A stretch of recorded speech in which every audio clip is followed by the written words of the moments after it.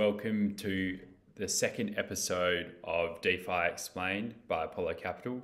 My name is David Angliss. I'm an analyst at Apollo Capital and I joined in early this year in July.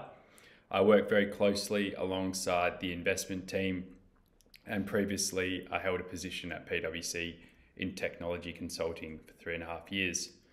I've always had a passion for blockchains uh, and crypto assets and am very excited to introduce this morning's topic of uh, block explorers uh, and decentralized applications.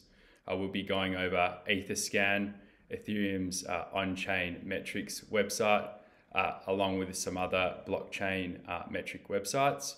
I will also have a deep dive into a specific Ethereum project, uh, and I will show you how a decentralized application interacts with certain blockchains. So without further ado, I'm going to share my screen and we're going to jump straight into Etherscan. So up here we can see we're on Etherscan. Uh, Etherscan is the source of truth for Ethereum uh, and the metrics uh, that sit on Ethereum. So we can see we've got a nice dashboard here. We've got Ethereum's uh, price, uh, Ethereum's transactions per minute. Ethereum's gas price. So the medium gas price is the gas price on average uh, it takes to do a transaction right now with Ethereum. Uh, 165 is quite high. Uh, Ethereum users will always monitor the gas price uh, and, and look to optimize uh, when the best time to use uh, the Ethereum blockchain will be. We've got market capitalization here of Ethereum and then some uh, proof of work metrics as well. Uh, below we've got latest blocks that are being mined as Ethereum still a proof of work system, uh, as well as the latest transactions uh, for everyone to see on the blockchain. Uh, we're going to jump into some some charts that I like to view on on Ethereum, on Etherscan, and I'm going to give you a bit of an update and uh, insights into Ethereum. So Jumping into the charts and statistics, we can see up the top here we've got some interesting market data uh, charts, uh, Ethereum's price, uh, some market capitalization um, charts here. Uh, and probably most interesting uh, on this top row is the Ethereum supply growth chart. So we're going to jump into this growth chart just to give you guys an idea of uh, Ethereum's inflation since inception uh, and uh, where it's looking to, to go in the future. So uh, at the beginning of the chart, we can see there's quite a steep um, gradient. Uh, this represents um, high inflation of, of Ethereum's uh, emissions. So a lot of Ethereum's being being released in, into the uh, crypto um, asset industry. Uh, this is being paid out to uh, what's called miners as mining rewards. Uh, but over time, we can see that this curve starts to flatten out. Okay, so this is a deliberate uh, ploy by Ethereum um, to eventually become a deflationary crypto asset. Uh, and one of the most recent steps Ethereum has taken you know, towards uh, becoming a deflationary asset is introducing this idea of uh, daily burn fees. So I'm going to keep scrolling my cursor across, uh, and in August this year, uh, was the first introduction of um, the first daily burn fee. So we can see here, uh, 9th of August uh, onwards, we are burning Ethereum uh, on the daily. So that's the Ethereum supply growth chart. Jumping back in, we can see that there's interesting uh, metrics around blockchain data. So this is all to do with uh, daily transactions, ERC, ERC 20 transactions. So tokens that sit above Ethereum um, and their metrics, unique addresses, so new people coming into the Ethereum ecosystem, uh, node activity uh, on the likes. Uh, we've also got some um, daily ETH burning. So if you remember that chart I was showing you before, we were looking at um, there was there was daily ETH being burnt. Network data, um, nodes and, and network information. So this chart looks quite interesting. There's a bit of a heat map there of Ethereum um, across the globe, uh, nodes using Ethereum. Uh, the last chart we'll jump into on this page is the top DEX um, tracker statistics. So if we jump into this, we can see uh, the DEXs that sit on Ethereum. So a DEX is a decentralized exchange, as Matt alluded to in, in the previous uh, episode of uh, DeFi Explained. Um, we can see that Uniswap uh, v2 and Uniswap v3 uh, dominate currently um, in terms of activity. Um, third is SushiSwap, uh, which we'll be having a deep dive into um, very shortly and then there's a couple others, but they, they seem to be quite negligible. A new, another page that I love to view on Etherscan is the uh, top statistics uh, tokens. So this page is really important as it gives you a good insight on what the uh, hottest um, ERC20 or Ethereum projects are um, in the past 24 hours. So we can see um, Tether, USDC, and, and Wrapped Ether um, dominating the top three um, positions. However, underneath we can start to see uh, tokens that um, are popular on the Ethereum blockchain um, at this moment in time.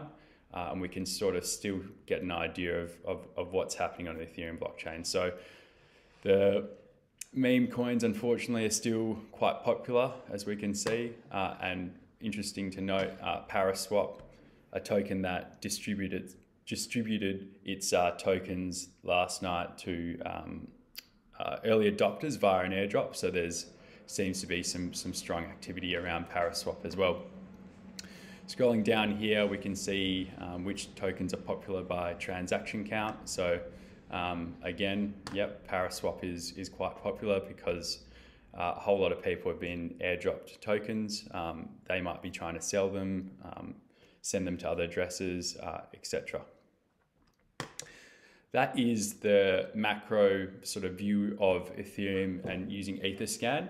Um, now I'm going to jump into a project, a specific project uh, that I alluded to before, and we can we can use Etherscan to, to drill down into, into certain ERC20 projects as well. So introducing um, Sushi uh, on Etherscan straight away we can uh, we can see um, some interesting metrics on the dashboard. So we've got the price, we've got its performance uh, relative to Ethereum overnight, so it's down 3.38%. Uh, a nice button um, that I like to use in Etherscan is this fully diluted market cap um, versus the circulating supply. So fully diluted market cap refers to the total uh, the total market cap if if all tokens were um, in circulation. Um, however, not all, all tokens in this instance are in circulation. There's still some yet to come onto the market. Okay, so if I click here, it will toggle to the circulating supply, which is uh, the current uh, the current value of all the tokens that are currently in the market. So if we toggle back and forth, we can sort of get an idea that there's about 500 million, a um, bit less than 500 million actually, um, that's still yet to come onto the market. Uh, holders, um, if you click here onto the holders, this is also really interesting um, as it gives you a good idea of the uh, how distributed um, the tokens are amongst holders of the project. Uh, we can see that uh, the, the biggest um, holders of, of sushi right now are um, these sushi addresses here. Uh, one, two, three. Um, we can see that there's an unidentifiable um, ether address. I'm not sure exactly what that address is and um, probably won't jump into that today. We can also see that there's some um, exchanges uh, that hold uh, hold sushi for their exchanges, providing liquidity.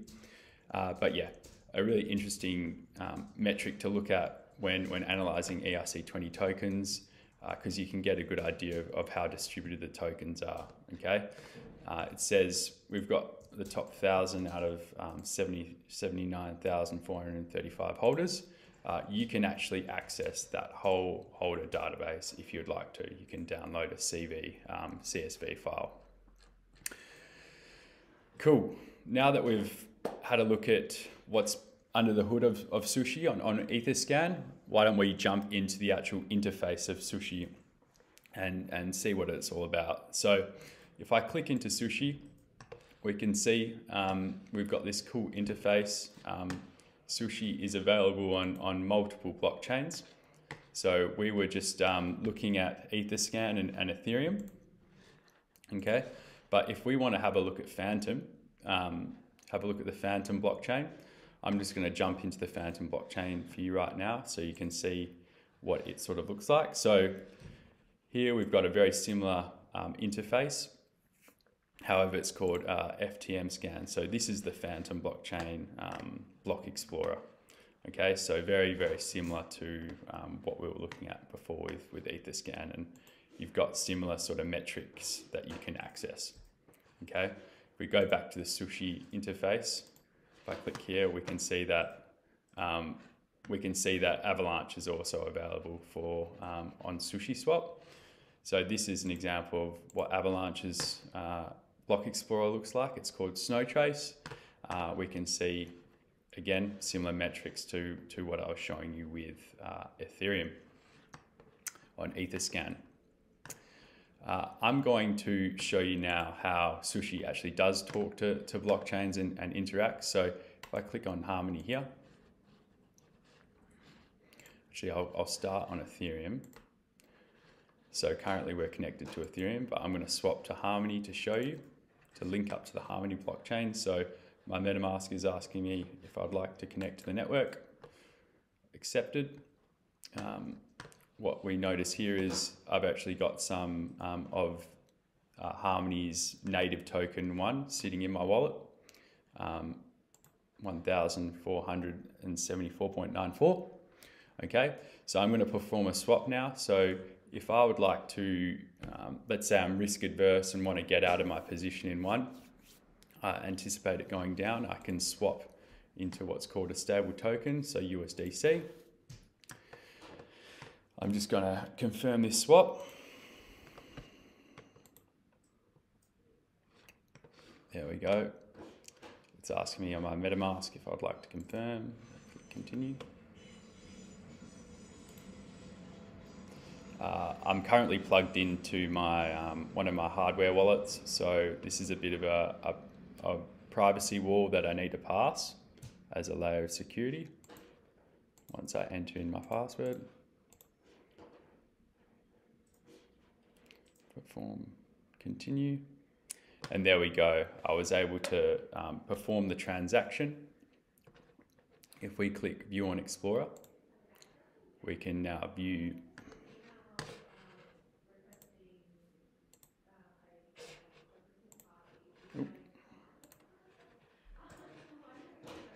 Yes, there we go. We can now view the uh, the transaction on chain. So lightning quick uh, and incredibly cheap is the, the Harmony blockchain. And there it is all there for you to see. So the transactions um, and etc. Jumping back to Sushi,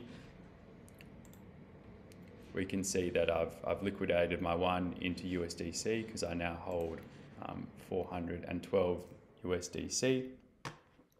Uh, and that is the uh, demonstration of a, of a standard decentralized swap for you. Uh, I'd like to call out that uh, Sushi is uh, very in innovative uh, and they do believe in a multi-chain future and, and they are striving to be a market leader in the decentralized uh, sector of DeFi. Um, as if I click here, we can see a, an amazing um, feed of, of 13 different blockchains that uh, Sushi can, can plug into, okay? this is significantly more than the market leader that is Uniswap. So I'm Uniswap's interface right now, and if I click here, there's only three options, uh, three networks to connect to.